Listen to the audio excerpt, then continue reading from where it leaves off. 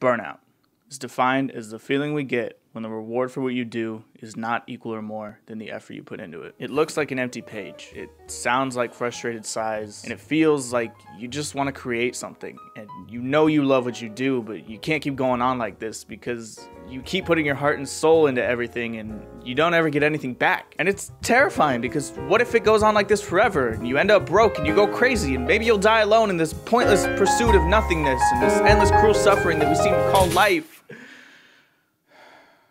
We all know the stories. Something just clicks one day. Suddenly you can't get your ideas out fast enough. It's like suddenly this whole creativity thing is the easiest thing in the world. And nothing could ever kill this moment. Voila, you have to share it with the world before the flame dies. And you feel it, like something's different this time. This is it. An hour goes by.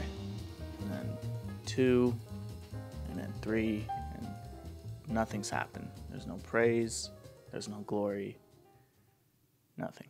It takes days or weeks or months to finally pick yourself back up and start creating again, but it feels so wrong to be down about the things that you love doing. And it feels even worse because you carry this immense pressure to just create something, just so people don't forget about you. So nobody cares about your art. You feel like a complete failure, and your brain is just one big pile of mush.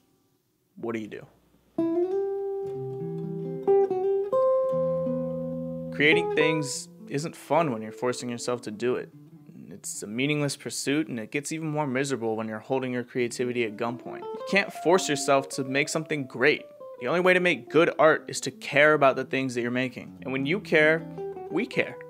Your job is to make people care. And if you're not able to do that right now, try giving up for a bit. Let yourself burn out. The world's still gonna be here when you feel like you can make your next masterpiece. And when that flame gets ignited again, we'll still be here rooting you on.